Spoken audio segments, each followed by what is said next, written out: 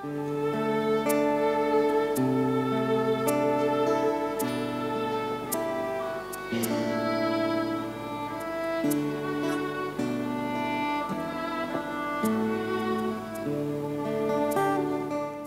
nie krzyż, gdyby nie Jego łaska, gdyby nie przelana krew, dziś nie byłoby nas tutaj, ale Jezus dokonał wielkiego dzieła zbawienia, wielkiego dzieła wyzwolenia dla człowieka i dzisiaj możemy powiedzieć, niech żyje wolność, będziemy się modlić, aby Boże uwolnienie dotknęło waszego życia. Jezus jest pośród nas. To miło, że jesteśmy, że wy jesteście.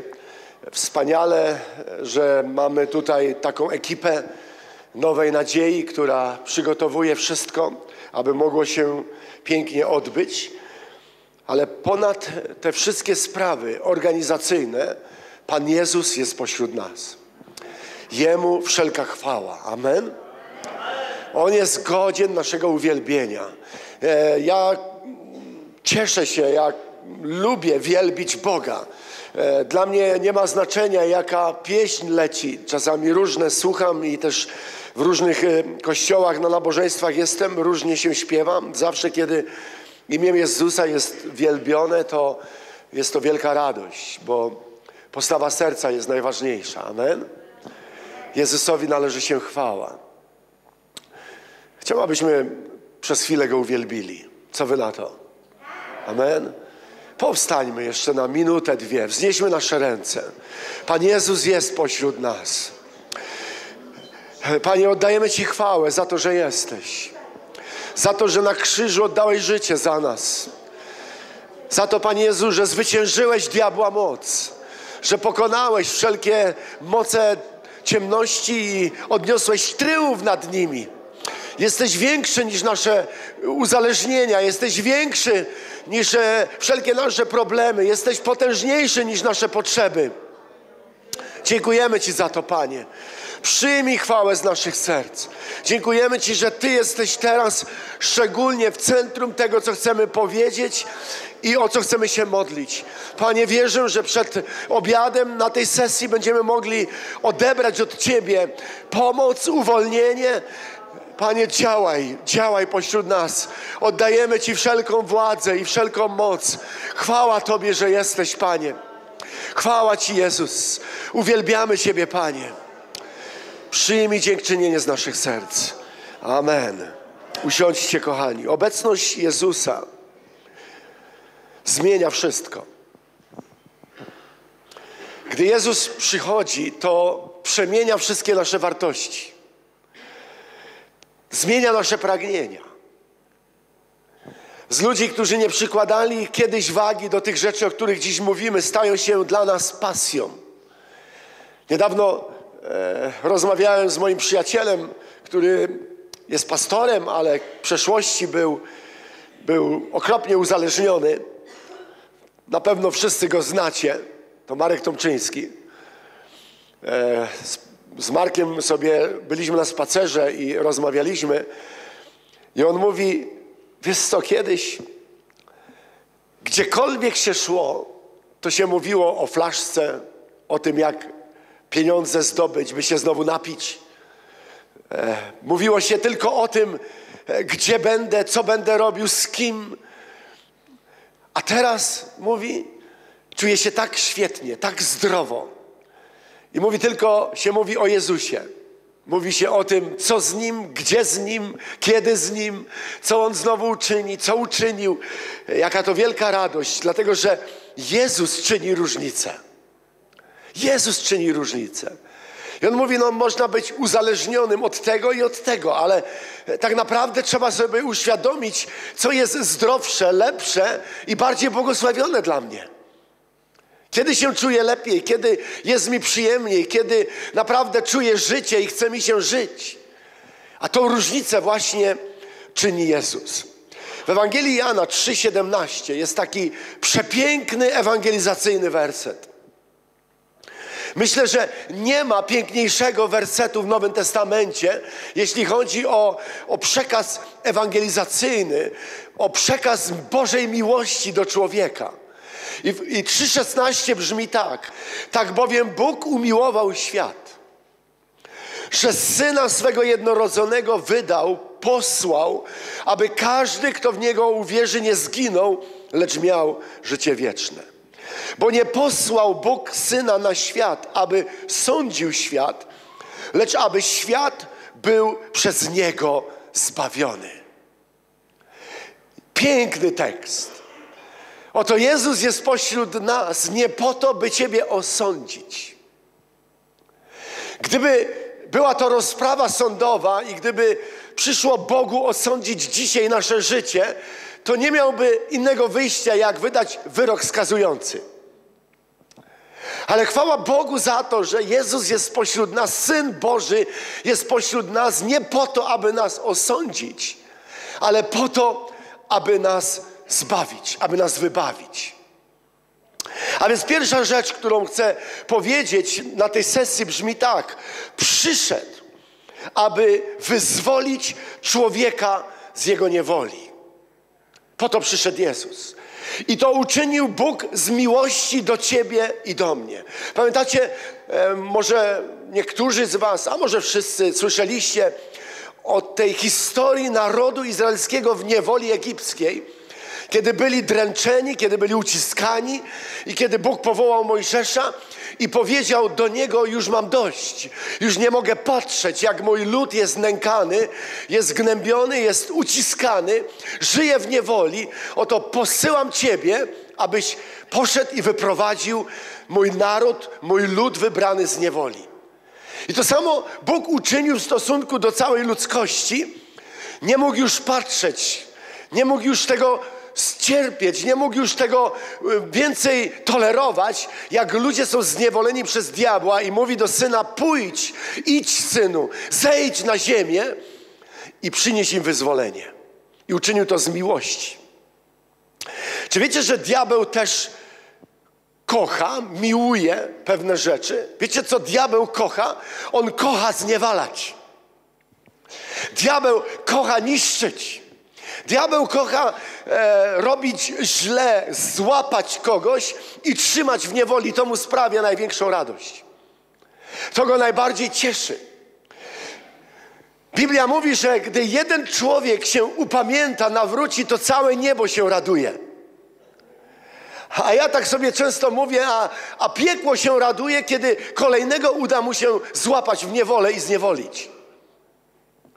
Bo Bóg robi zupełnie coś innego, odmiennego do tego, co robi diabeł. Bóg jest dobry, a diabeł jest zły. Taka jest prosta filozofia. Bóg jest dobry. Jest dobry dla ciebie, kocha cię. On tak umiłował świat, umiłował człowieka, że swego jedynego syna posłał, aby przyszedł, by wyzwolić nas z grzechu. Diabeł ma różne środki, które łatwo akceptujemy. Te narzędzia, którymi się posługuje, aby nas zniewolić. A Jezus przyszedł, aby wypuścić nas na wolność i też ma swoje środki, możliwości i narzędzia, którymi się posługuje, aby nas wypuścić na wolność. W Ewangelii Jana 3,36 czytamy, kogo Syn Jezus wyzwobodzi, wyzwoli, prawdziwie wolnym będzie prawdziwie wolnym będzie. Człowiek może sobie pomóc, może sobie poradzić, może swoją silną wolą pokonać jakieś uzależnienie, jakieś zniewolenie, ale prawdziwą wolność, zupełną wolność, czyli takie zupełne oświecenie, rozjaśnienie naszego życia może dać jedynie Bóg. Nałogi to niewola. Musimy sobie uświadomić, że zniewolenie nasze po prostu jest poprzez nałogi. To jest zniewolenie, to jest niewola. Jeśli mówimy o wolności, jeśli mówimy o tym, że mamy kogoś uwolnić, czy wypuścić na wolność, czy wskazujemy komuś na Jezusa, który daje prawdziwą wolność, to między innymi z uzależnień, z nałogów, alkohol, narkotyki, różne leki uzależniają, środki odurzające to narzędzia w ręku diabła, aby zniewalać, a przesłaniem dobrej nowiny jest wolność, uwolnienie w Jezusie. I będziemy się modlić o Was, będziemy usługiwać Wam, aby Wasze życie stało się miejscem, w którym będzie mógł zamieszkać Bóg, Pan Jezus. Oto Biblia mówi, że możemy stać się świątynią Bożą. Czy wiecie, że Bóg nie mieszka w budynkach, w świątyniach, e, w takich e, kościołach, e, budynkach kościelnych, nawet jak ten. Piękna sala, piękny obiekt. Ale to, to nie jest miejsce przebywania Boga w tym sensie, że On zamieszkuje w takim miejscu. On, on, on nie potrzebuje budynku. Zresztą Biblia mówi, jakiś budynek chcecie mi wybudować. Nie jesteście w stanie mi wybudować odpowiedniego miejsca, tak wielki i potężny jestem. Ja nie mieszkam w świątyniach e, ludzkimi rękoma wybudowanych. Potrzebujemy miejsca, w których się spotykamy, ale to Twoje i moje życie może być świątynią Pana. Wracam do myśli z pierwszej sesji. Jeśli Jezus mieszka w moim życiu, w Twoim, w naszym, jeśli przyjmujemy Go do naszego życia, to Zbawiciel, Pan Panów, Alfa i Omega, lekarz, chrzciciel Duchu Świętym, ten, który ma wszelką moc, ten, który zwyciężył diabła, mieszka w Tobie jak w świątyni. Masz źródło życia z pierwszej ręki. Dlatego ja, ja, ja lubię rano wcześniej wstawać, nie wiem jak Wy, po to, żeby mieć z Bogiem społeczność. Po to, żeby duchowo spędzać z Bogiem czas. Później życie ma tyle różnych wyzwań, obowiązków, pracy, rodzina, dzieci, później córki wstają do szkoły, już absorbują, ale kiedy jest wcześnie, kiedy jestem sam, kiedy mogę mieć czas z Bogiem, jest to coś niesamowitego dla mojego życia. Mogę czytać, mogę się nim rozkoszować, mogę go wielbić, mogę go przeżywać. Wiem, że On jest bo Bóg czyni z nas swoją świątynię. Kiedy następuje uwolnienie człowieka, kiedy Jezus cię uwalnia, to nie po to, abyś stał się pustym naczyniem, pustym domem, pustym człowiekiem. On chce zamieszkać w nas. W liście do Koryntian, w pierwszym liście do Koryntian 3,16 czytamy, czy nie wiecie, że świątynią Bożą jesteście? Dziś możemy podejmować decyzję czyją świątynią chcesz być.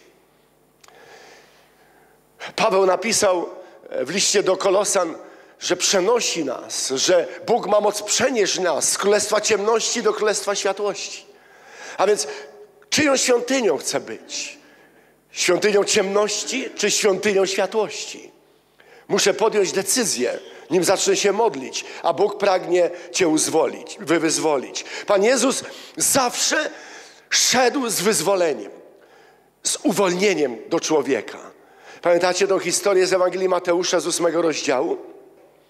Wyszli z, z jakichś grobowców, z jakichś miejsc, w których przebywali, byli, byli groźni, czytamy w Biblii Warszawsko-Praskiej. Tak, iż nikt nie mógł przechodzić tą drogą. Poczęli krzyczeć tymi słowami: Cóż mamy z Tobą, synu Boży? Przyszedłeś tu przed czasem dręczyć nas a opodal od nich była wielka trzoda pasących się świń. Wtedy go demony prosiły, mówiąc, jeśli nas wypędzisz, to poślij nas w tę trzodę świń. I rzekł im, idźcie. A one wyszedłszy, weszły w świnie i oto cała trzoda ruszyła pędem po urwisku do morza i zginęła w wodach. A pasterze uciekli i poszedłszy do miasta opowiedzieli wszystko, także i to, co stało się z opętanymi. Pan Jezus ma moc. Popatrzcie, uwolnił tak bardzo opętanych ludzi. Oni byli groźni, byli wiązani, mieszkali w grobowcach. Straszna siła, zła siła była w ich życiu. Tacy ludzie są. Może dzisiaj na tej sali nie mamy takich przypadków i chwała Bogu za to, ale tacy się pojawiają. Są różni ludzie przeciwni Bogu, przeciwni Ewangelii. Przypomina mi się opowieść o, o pewnej czarownicy, która postanowiła przeklinać ewangelizację, która odbywała się, to miało miejsce w Afryce, tam pewno szamanów i czarowników. I ona przychodziła pod, pod miejsce, gdzie odbywała się ewangelizacja i przeklinała, i, i złorzeczyła, i bluźniła. I, I kiedy rozpoczynał się pierwszy wieczór po przygotowaniach, stanęła na takim wielkim kamieniu i zaczęła przeklinać. I tam głosił taki ewangelista, już teraz senior, bo już ma prawie 75 lat, ale był młody i głosił tam z werwą głośno Ewangelię. I, i kiedy stanął na podium, wziął mikrofon, a ona przeklinała tam po drugiej stronie całe zgromadzenie, jak krzyknął głośno Aleluja, to spadła z tego kamienia. Zleciała z niego, połamała się i przestała przeklinać. Bóg ma moc, aby rozprawić się z różnego rodzaju siłami w różnoraki sposób. Ten e, opętany, czy ci opętani, jak tu opisuje Ewangelia Mateusza, wybiegli z tych grobowców, krzyczeli, bluźnili. Pamiętam misję namiotową w Białymstoku. Pierwsza misja namiotowa, 91 rok. Dostaliśmy namiot ewangelizacyjny i rozpoczęliśmy misję namiotową. Zostałem zaproszony jako ewangelista. Pamiętam, usługiwałem tam tydzień czasu, a później przyjechał pastor Hydzik, usługiwał drugi tydzień. I brat Ilczuk, świętej pamięci z Bielska Białej, prowadził tę misję. Kiedy rozpoczęliśmy misję namiotową, kobieta zaczęła przychodzić pod namiot i zaczęła bluźnić i przeklinać nas. I pamiętam, jak brat Ilczuk wyszedł, taki podirytowany, ale taki pełen werwy Ducha Świętego i mówił, cóż ta kobieta opętana będzie nam tutaj e, przeszkadzać i wykrzywiać drogi pańskiej. Podszedł do niej, pokazał palcem w imieniu Jezusa, zamilknij. I pamiętam, jak ona klapnęła na ulicę, na kostki, siadła, otworzyła oczy, buzię i nie wiedziała, co powiedzieć. Bóg ma moc. Bóg ma moc. Jeśli poradzi sobie z takimi strasznymi przypadkami, jak ci opętani, jak, e, jak opisani w Ewangelii Mateusza i te inne przypadki czarowników, wróżbitów, opętanych przez demony ludzi, to ma moc wyzwolić Ciebie. Dla Niego to nie problem. Jezus ciągle jest ten sam. Ma tą samą moc, aby wyzwalać, gdy przychodzimy do Niego. W czym jest problem? Z jakim problemem się mierzymy dzisiaj? Nasze społeczeństwo to musimy zmienić. I to może zmienić Duch Święty, to może zmienić nasza odwaga w staniu na Bożych obietnicach, na Bożym Słowie. Nasze społeczeństwo zaakceptowało przekonanie, że Bóg jakby uległ zmniejszeniu. Hm.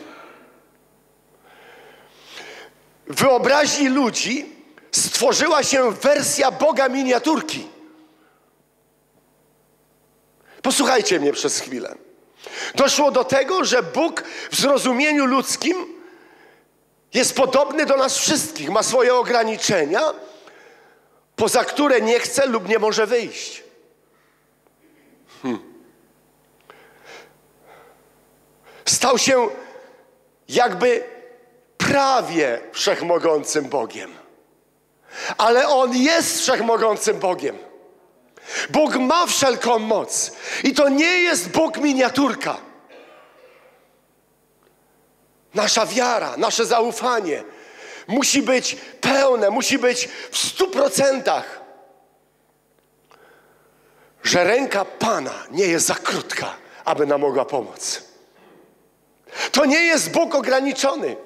To nie jest Bóg mały. Kiedy przychodzi ze swoim życiem, ze swoim zniewoleniem, ze swoim dramatem życiowym, to nie jest Bóg, który ma za krótką rękę, aby Ciebie dotknąć. Nie. Izajasz mówi tak, oto ręka Pana nie jest tak krótka, aby nie mogła pomóc, a Jego ucho, ucho nie jest tak przytępione, aby nie usłyszało. Boże ucho słyszy Twoje wołanie i Boża ręka dosięgnie Twojego życia. Bo gdy będziemy modlić się o Was i gdy nawet przyjdziemy, położymy na Was naszą rękę, to tak naprawdę Bóg swoją dłonią pragnie dotknąć Ciebie. Wiecie, jak Bóg dotyka człowieka, już nigdy nie będzie taki sam. Nigdy nie może być taki sam. Musimy w to uwierzyć. Musimy to przyjąć jako prawdę, biblijną prawdę. Dzisiaj wielu ludzi próbuje stworzyć taką atmosferę, że Bóg, o którym mówimy, niewiele może. On wyparł tego niezwyciężonego i nieskończonego. Został zredukowany do przeciętnych i pospolitych wymiarów. A wiecie dlaczego tak jest?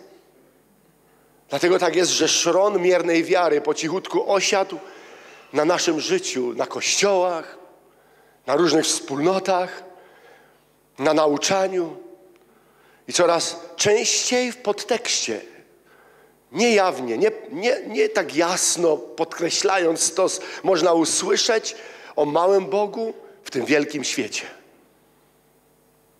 Świat jest wielki, potężny, ma władzę. A gdzie jest Bóg, który to wszystko stworzył? Jakby został zredukowany, stał się mały. Lecz na tym miejscu,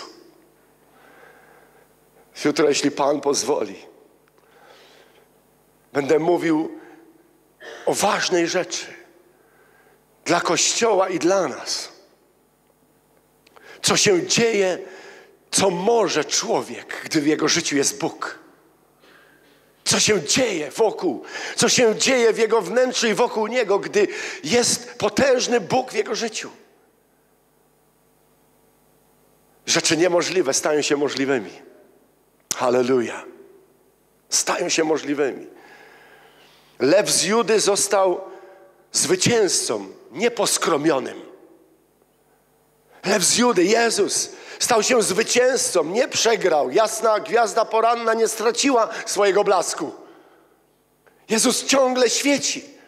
Śpiewaliśmy kiedyś taką pieśń, kwiat przepiękny znalazłem w młodości, róża sarońska jest skarbem mym. Róża sarońska została przez wielu zdeptana, ale to nieprawda. Oni tak tylko myślą, że zdeptali różę sarońską. Róża sarońska jest skarbem największym. To Zbawiciel, nasz Pan. Dlatego ja ciągle jestem w tym przekonaniu, bezustannie potrzebujemy świeżego objawienia Boga, które sprawi, że na nowo zrozumiemy, jak wielki jest Pan, jak wielki jest Bóg. Bo wiecie, to nie chodzi tylko o to, by, by zaśpiewać sobie piosenkę, jak wielki jest Bóg. Nie możemy zredukować to do śpiewania piosenek o wielkim Bogu. Bóg chce przejawiać się jako wielki w naszym życiu. Bóg chce być potężny w naszym życiu poprzez uwalnianie nas, poprzez przemienianie naszego życia. Co jeszcze czyni ten wielki Bóg? Ucisza wszelkie burze i sztormy naszego życia. Na pewno byliście świadkami wiele razy burzy i sztormu. Nagle się pojawia, nagle nawałnica przychodzi. W taki sposób atakuje człowieka diabeł w różnoraki sposób. Ogarnia człowieka strach, albo przychodzi zwątpienie, przychodzi e, pewna bezradność, bezsilność, gdzie nie wiemy, co zrobić. Jesteśmy załamani, szukamy wyjścia, nie możemy sobie poradzić. Prawda jest taka, że gdy przychodzi Jezus, to strach musi odejść. Strach odchodzi. Gdy przychodzi Jezus, przychodzi nadzieja, przychodzi światło, które zaczyna świecić w ciemności. I kiedy modlimy się w imieniu Jezusa, kiedy wyznajemy Go, kiedy ogłaszamy Go, kiedy nasza wiara zaczyna rosnąć, kiedy nagle naszym sercem widzimy, jak Bartymeusz, o którym mówiłem w pierwszej sesji, poprzez to, że usłyszał, nagle wewnętrznie zobaczył. Zobaczył Jezusa, choć nigdy nie widział Jego cudów. To nie ma znaczenia, że nie widziałeś żadnego cudu.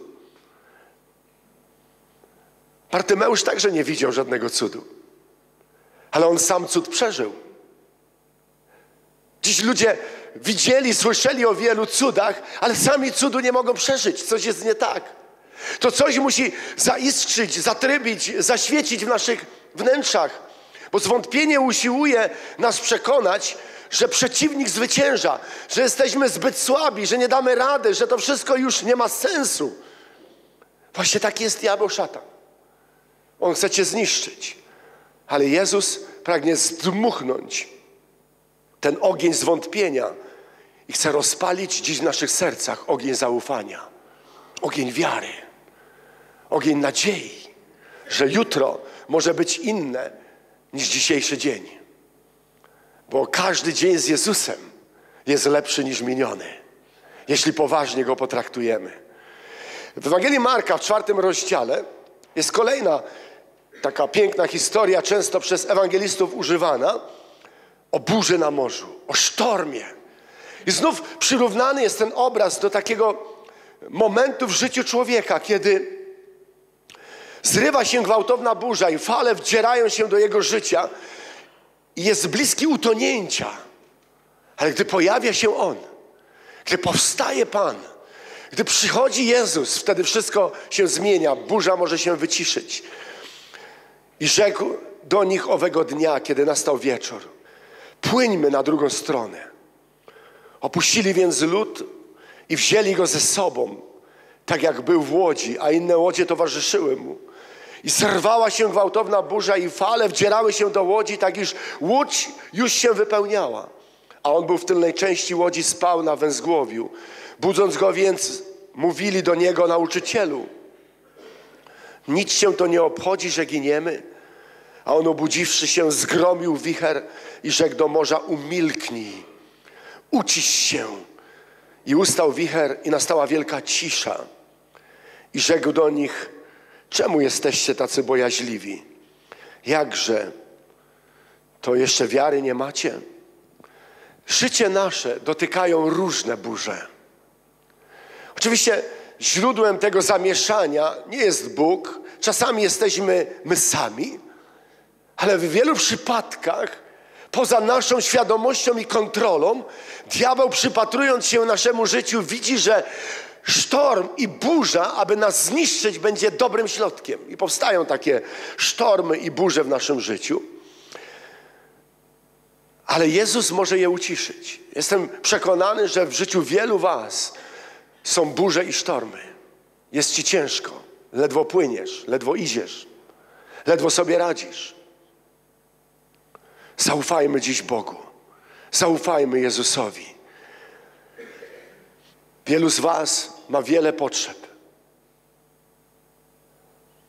Życie może tak, te burze, te wszystkie tragedie, które się zdały, spowodowały, że może nie masz nic, może nie masz pracy, może nie masz domu, może jesteś bezdomnym, może całe życie ci się zawaliło. To nie znaczy, że jesteś człowiekiem gorszym, drugiego gatunku, czy e, nie mającej żadnej nadziei. Nie. Może ci tak mówili, nie słuchaj tego. Jezus może to zmienić. Bóg może uczynić cud dziś. Uwolnienie jest w Jezusie. On jest źródłem naszego zaopatrzenia. Bóg jest źródłem naszego zaopatrzenia. Niebo jest centrum zapasów. Ktoś to pięknie określił, że Bóg ma jakby duchowy, potężny magazyn, z którego udziela tym, którzy potrzebują pomocy. I w tym magazynie, w tym centrum Bożego zaopatrzenia jest wszystko, czego potrzebujesz. I ktoś powiedział tak: pamiętaj, tam nigdy nie dosięgnie kryzys, tam nigdy nie ma recesji. Tam jest zawsze pełne wyposażenie potrzebne dla życia człowieka. A więc Boże Słowo zapewnia nas, że Pan nas zaopatrzy. Na pewno e, przez wielu ulubionych, przez wielu ulubiony psalm, ludzie lubią ten psalm, lubią go jako treść poetycką, jako, jako piękny e, taki poemat, wiersz napisany, ale w nim jest zawarta prawda. Pan jest pasterzem moim. Niczego mi nie braknie. Na niwy zielone mnie prowadzi. Do wód spokojnych mnie wiedzie. Duszę moją pokrzepia. A więc jest tutaj mowa o Bożym zaopatrzeniu, że On chce nas wziąć za naszą rękę z naszego miejsca destrukcji, biedy, upadku, nędzy, sztormów i burz życiowych i zaprowadzić na swoje pastwisko, na niwę zieloną, gdzie zacznie nas zaopatrywać, gdzie zacznie wypełniać całą próżnię naszego życia swoim błogosławieństwem. To nie jest tak, że wszystko stanie się z automatu, natychmiast, moment. Bóg kliknie palcem i wszystko już będzie super. Będziesz zupełnie w innej przestrzeni. Nie, Bóg nas prowadzi, zmienia, kształtuje.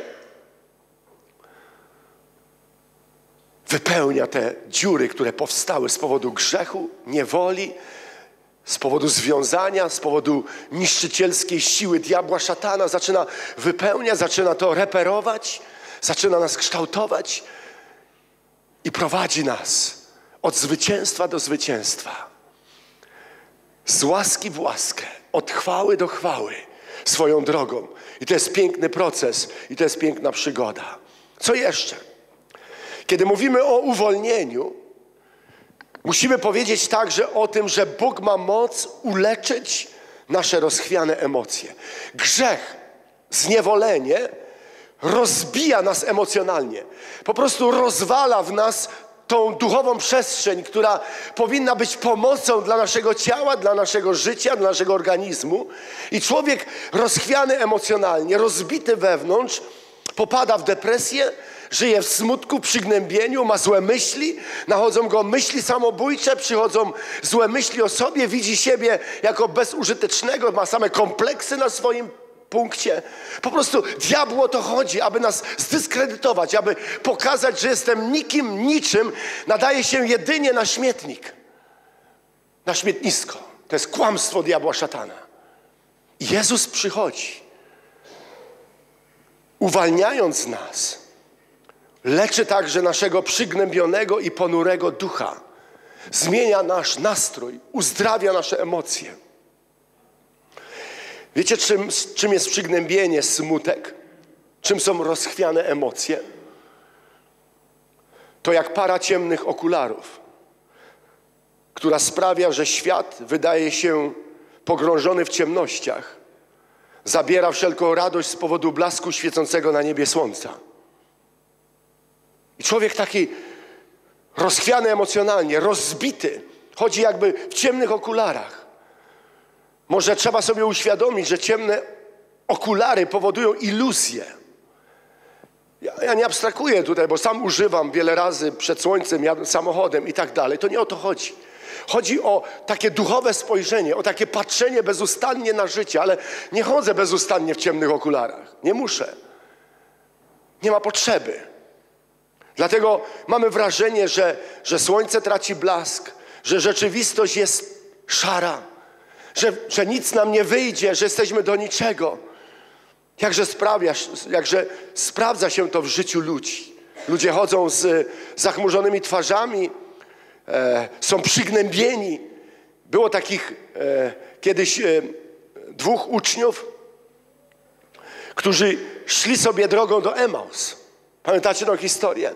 Z Ewangelii Łukasza z 24 rozdziału. Byli w rozsypce ponieważ, po, po, ponieważ, przepraszam, nie znali prawdy o tym, co się stało. Oni byli przejęci sytuacją. Ich przygnębienie miało źródło w tym, że wszystko się im zawaliło, że cała nadzieja, którą mieli, po prostu zniknęła. Już jej nie ma. Jezus umarł, został pochowany, już nigdy go nie zobaczymy. Sądzili, że stało się najgorsze, podczas gdy w rzeczywistości było zupełnie inaczej. I tak jest wiele razy w naszym życiu.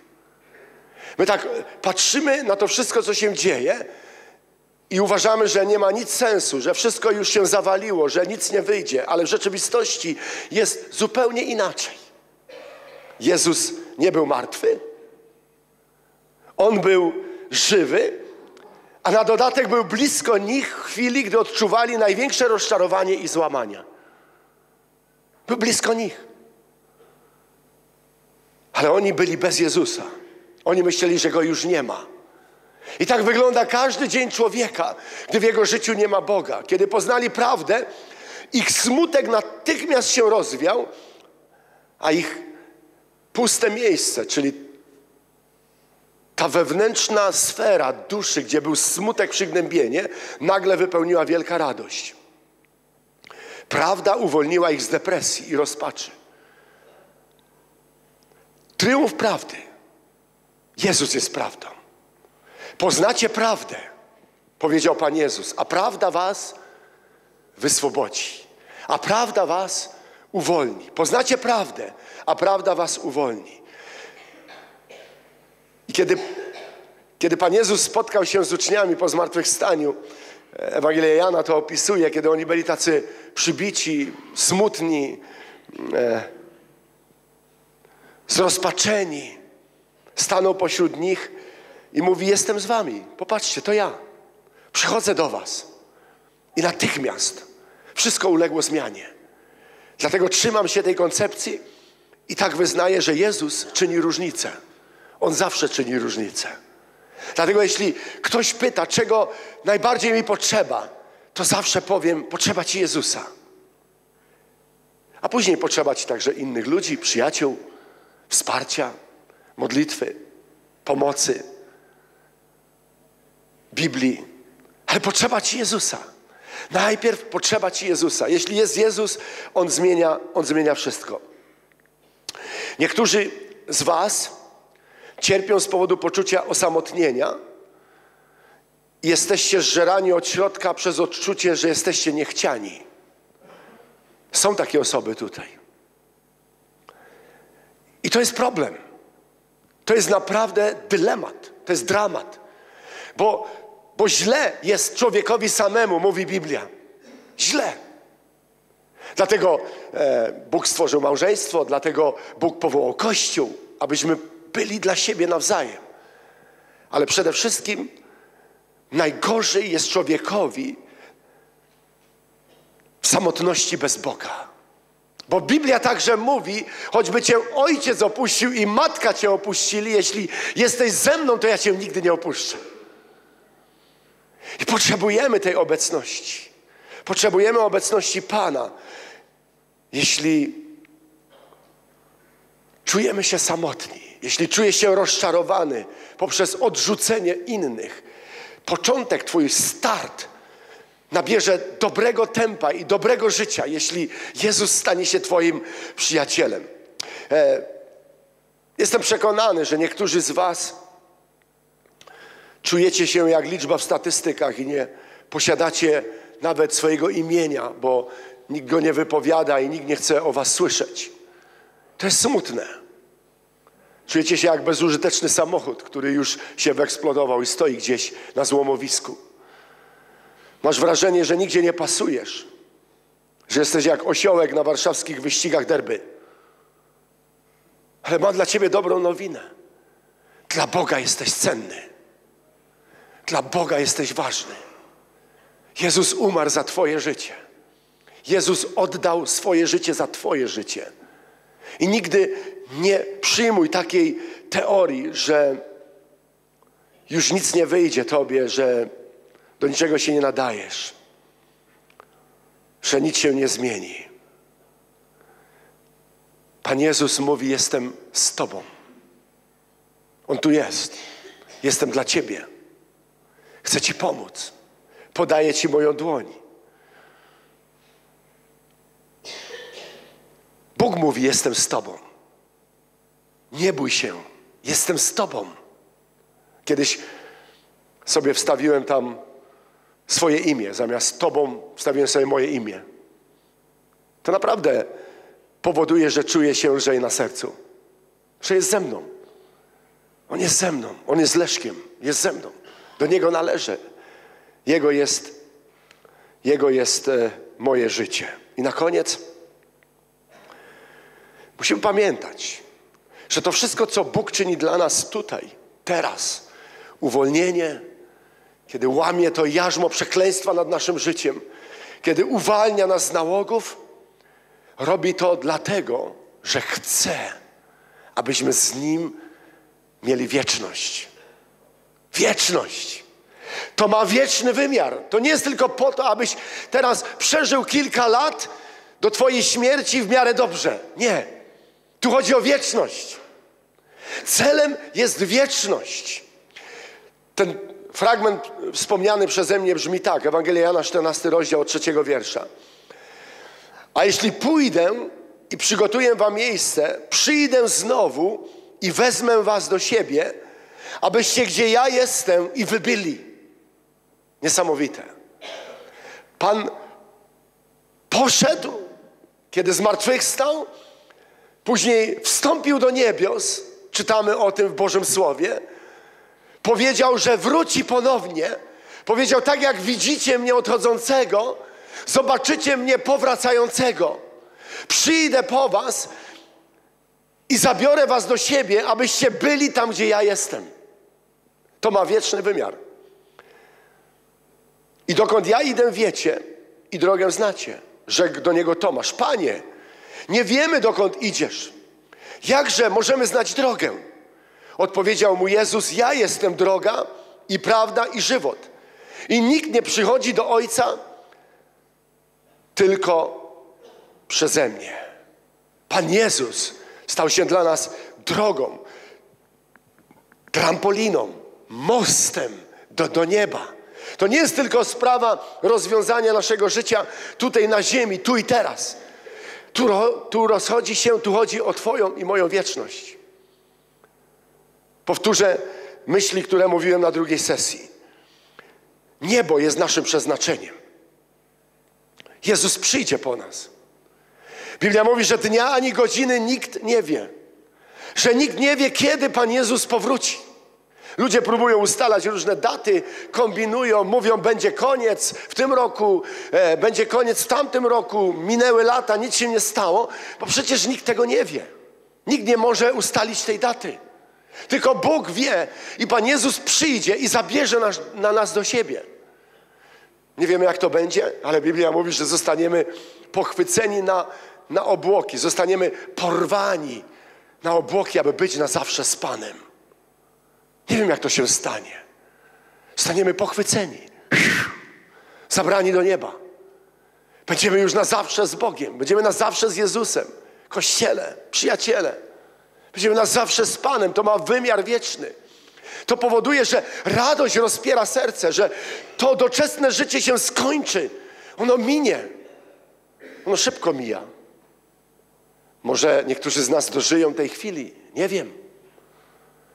Kiedy Pan Jezus powróci, aby nas zabrać do siebie.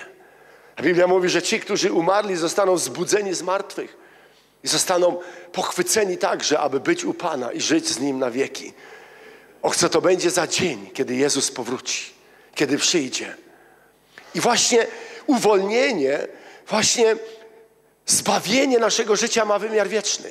Tu nie chodzi tylko o to, abym przeżył uwolnienie z mojego nałogu, aby Bóg mnie uwolnił i abym teraz już wreszcie miał z tym spokój. Nie. Bóg chce Cię zbawić, abyś miał życie wieczne. Abyś był zbawiony i abyś poszedł do nieba. Abyś tam mógł żyć wiecznie z Panem. Pan Jezus sam zostawił nam przykład zwycięstwa nad śmiercią, nad grobem. Zmartwychwstał. Za niedługo będziemy mieli pamiątkę Wielkiej Nocy, pamiątkę śmierci Jezusa i Jego zmartwychwstania. Świat nie potrzebuje dzisiaj wizerunku Boga, który wisi z rozportartymi ramionami, związanymi nogami i opuszczoną głową. To się stało. Pan Jezus cierpiał był umęczony dla naszego zbawienia. Coś wieczorem o tym powiem, że tak jak dokonał naszego zbawienia, w ten sam sposób dokonał naszego uzdrowienia. Tak mówi Biblia. Na tych dwóch płaszczyznach Pan Jezus rozprawił się z tymi dwoma wielkimi dramatami ludzkimi, jakim jest grzech i duchowa śmierć, a także choroba i ból fizyczny. On ma moc. Jego sińcami zostaliśmy uzdrowieni dokonał pełnego zwycięstwa. Nasz Pan powinien być umieszczony na głównej stronie, w centrum uwagi, jako zwycięzca. Jedyny zmartwychwstał. I stał się jedyną drogą dla Ojca, do Ojca, do nieba, do życia wiecznego. Po to potrzebujemy uwolnienia, aby tu na ziemi to, co jeszcze Bóg nam daje do życia, przeżyć dobrze, a także, aby znaleźć się tam w wieczności. Pamiętajcie, nawet jeśli pomodlimy się dzisiaj o uwolnienie, to ciągle diabeł szatan będzie czyhał na Twoją wolność. To nie jest tak, że pomodlimy się o Ciebie, wszystko się skończy, wyjedziesz z ustronia i powiesz, ale fajnie, jestem wolny. Nie, diabeł szatan będzie czyhał na Twoją wolność. Chodzi po miejscach bezwodnych, błądzi gdzieś po pustyniach i szuka sposobu, aby powrócić. I kiedy uda mu się powrócić i znajduje miejsce czyste, wysprzątane, oczyszczone, przyozdobione, zabiera ze, ze sobą siedem innych duchów, aby na nowo zaatakować tego człowieka. Ale nie ma szans pod jednym warunkiem.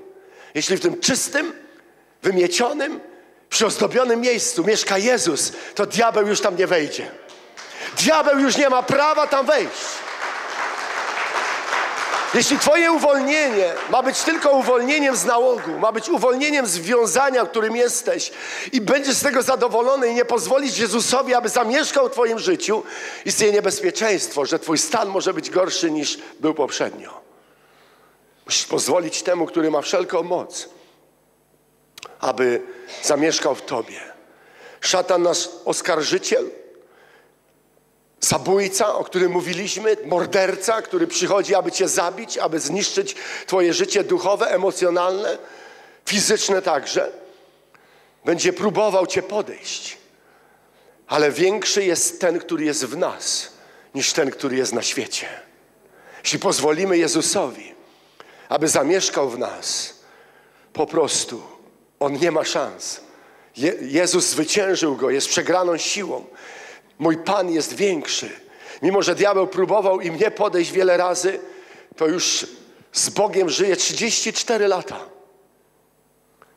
I nigdy nie udało się jemu mnie powalić. O, wiele razy mnie zasmucił, wiele razy spowodował, że miałem złe myśli, wiele razy spowodował, że coś udało mi się źle powiedzieć. Musiałem Pana Boga przeprosić za to, ale nigdy nie spowodował, że upadłem ponownie, wszedłem w to bagno z powrotem do tego, z czego wyszedłem. Bo większy jest ten, który jest w nas, niż ten, który jest na świecie. Jeśli pozwolimy mu działać, będziemy oglądać jego zwycięstwo. Musimy być jak żołnierz, który czuwa i zawsze jest gotowy, aby odeprzeć atak. O tym mówi Boże Słowo. Musimy być jak taka latarnia podczas burzy, która zawsze daje światło, a nie jest pogrążona w ciemności. Musimy być, jak Biblia mówi, psalm pierwszy, jak drzewo zasadzone nad wodami. Kiedy zapuścimy nasze korzenie, kiedy, kiedy zaufamy Bogu i, i zanurzymy się w Nim tak na, na maksa, na 100%, wtedy będziemy nieugięci. Będziemy mogli stać w naszej wolności. I będziemy mogli oglądać Boże dzieło. Ten psalm brzmi tak. Szczęśliwy mąż, który nie idzie za radą bezbożnych, ani nie stoi na drodze grzeszników, ani nie zasiada w gronie szyderców, lecz ma upodobanie w zakonie Pana i zakon Jego rozważa dniem i nocą. Będzie on jak drzewo zasadzone nad strumieniami wód, wydające swój owoc we właściwym czasie, którego liść nie więdnie, a wszystko, co uczyni, powiedzie się. To jest obietnica Boża dla Twojego życia. Kiedy będziesz tak zasadzony w Bogu, kiedy Jezus zamieszka w Twoim sercu, kiedy będziesz trwał w Jego słowie, kiedy będziesz się rozkoszował tym, co pisze w Biblii i będziesz to brał do swojego życia, wtedy Twoja wiara będzie rosła. Wtedy Twoje życie będzie silne. Wtedy będziesz jak, jak drzewo zasadzone nad, zasadzone nad strumieniem wód. Wydasz owoc w każdym czasie, we właściwym czasie, gdy będzie tego potrzeba. Wydasz owoc. Wydasz owoc. Nie będziesz ani owiędły, ani oklapnięty. Liści niewiędnie takiego drzewa, zasadzonego nad strumieniami wód. A także co będziesz czynił w Twoim życiu. Będzie błogosławieństwo, będzie Ci Bóg błogosławił. To jest Jego obietnica. Będzie Cię błogosławił. Będzie Cię błogosławił. Będzie Cię prowadził. Kiedy się nawróciłem, nie miałem nic. Po dwóch latach pojechałem do szkoły biblijnej. Nie miałem ani na bilet, nie miałem jedno ubranie, nie miałem nic. A chciałem się uczyć, chciałem rosnąć w Bogu, chciałem się rozwijać, chciałem Mu służyć. Wróciłem ze szkoły biblijnej, zaczynałem służbę, moja mama mi pomagała, utrzymywała mnie, nie miałem nic. I tak Bóg próbował moją wiarę, moje, moje podejście do Niego, czy ja Mu naprawdę ufam, że On mi pomoże i powiedzie się moje życie. Tak minęło kilka lat, Bóg zaczął błogosławić. Zaczął prowadzić, zaczął wypełniać z tego niebiańskiego spichlerza moje potrzeby w różnoraki sposób. W różnoraki sposób, powoli. Bóg nie działa chaotycznie, Bóg nie działa na oślep. Bóg działa w naszym życiu przez Ducha Świętego, przez to, że współpracujemy z Nim, że jesteśmy Jemu oddani. Czy pragniesz tej wolności dzisiaj? Czy pragniesz przyjść do Jezusa i powiedzieć: Panie, dotknij mojego życia? Czy chcesz dzisiaj wołać, jak wołał Bartymeusz? Czy pragniesz zatrzymać Jezusa? W jakim stanie chcesz wyjechać jutro z Ustronia, czy dzisiaj? Jaką decyzję chcesz, chcesz podjąć? Bóg jest dla ciebie. Jezus jest tutaj. On cię chce prowadzić. Na, na sesji popołudniowej powiem, jak żyć w wierze. Jak układać sobie życie w wierze. Jak ufać Bogu krok po kroku. Jak polegać na Nim. Czym jest chodzenie w wierze? Przecież to nie jest tak, że uwierzyłem, to teraz wszystko mam i wszystko mi się należy. Wiara to jest coś, co rozwija się w nas, co powoduje, że rośniemy razem z poznaniem, z Bogiem, z objawieniem Boga w naszym życiu. Ale teraz jest kwestia Twojej wolności. Czy chciałbyś przyjść do Jezusa i powiedzieć: Panie, oto jestem, uwolnij mnie, pomóż mi, dotknij mnie.